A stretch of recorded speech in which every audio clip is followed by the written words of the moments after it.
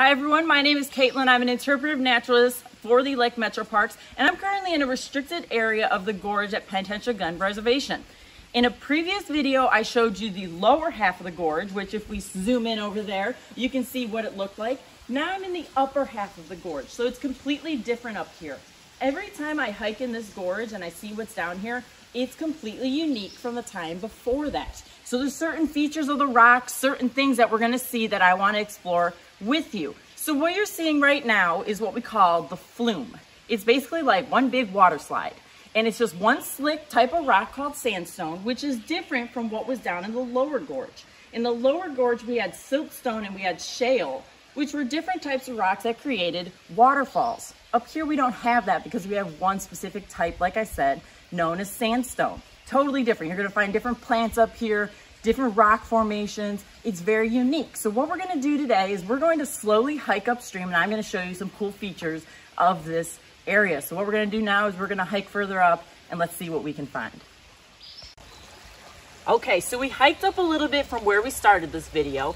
And now what I wanna point out to you is this orange slimy stuff. What is it?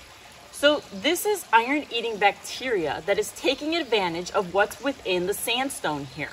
Within this rock, you're gonna find different elements such as carbon, calcium, iron, and other things that are in there. But this specific bacteria is taking advantage of that. It's eating the iron, which then fuels it and feeds it. Now you're also gonna notice that there's water coming out of it. The reason you have water is that this the sandstone has pores within it that allows the water to seep out. So it's just all sort of, you'll see trickles coming on here. You'll see just natural water that's trickling out and you'll really, it's really cool to see. Also what you'll have in the wintertime is you're gonna have these huge icicles that from that water seeping out, huge size of cars going from the top about 80 feet up and it'll extend down to where I'm at now. They're just huge, they're beautiful. So in the wintertime, it's really neat to see. Now what we're gonna do though, is we're gonna hike a little bit further up and I'm gonna point a few other things out. And this is all about exploration, mind you. So we're gonna see what we can find. So we're gonna head on up, let's go. All right, we're continuing our adventure further upstream. And what I wanna point out to you here is the rock feature. So this here is a big rock face of the sandstone that I've been talking about in this video. What you're gonna see is these lines, these striations known as crossbedding. Now before this rock was solid and hard, it was actually sand particles. And over millions of years, this sand was pushed by wind or by a stream in one direction. And as time progressed over those millions of years, it created the hard rock.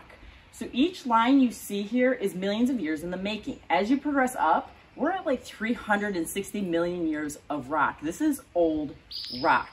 So it's really cool to see the really cool features.